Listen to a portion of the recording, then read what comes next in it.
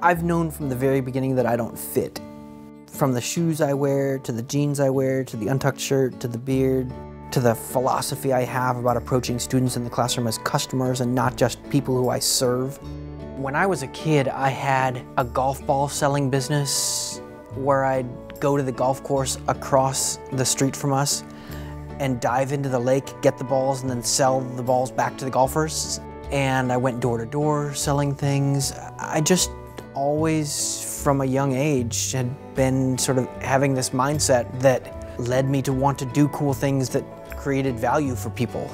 And that really, in my mind, is what entrepreneurship is trying to figure out ways to help people. Entrepreneurship and entrepreneurial thinking are for sure not just for people who want to be entrepreneurs. In fact, being an entrepreneurial thinker has value in and of itself, regardless of what you want to do as a career. Your ability to be an entrepreneurial thinker is going to make you a better person, a better applicant, a better spouse, a better friend overall, because you just think in a fundamentally different way than everybody else. If you're always thinking in a way that asks the question, how can I create value? You'll be able to create value for really anyone you talk to. My name is Jeff Pollack. I'm a professor in the Management, Innovation, and Entrepreneurship Department here at NC State.